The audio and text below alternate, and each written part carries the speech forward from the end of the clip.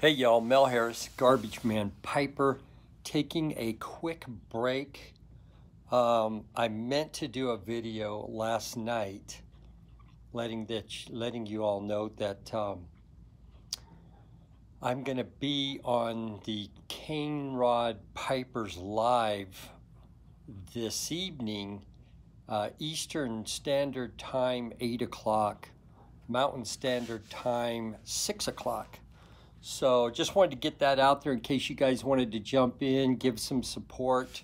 Um, I'm smoking my Garbage Man Piper number one pipe of 2020 and uh, haven't smoked it much, but I am smoking in it still the Camoys number seven coin and it smokes like a dream. It's not a real clencher and and the uh, mouthpiece isn't like my standard, but man, the flow of air through it and all. I'm really enjoying it. So, anyways, just wanted to give you guys a heads up and a, and a, a shout to jump onto Canerod Pipers live this evening, 8, 8 o'clock Eastern Standard Time. Mel Harris, Garbage Man Piper saying, Sweet Chicken, baby.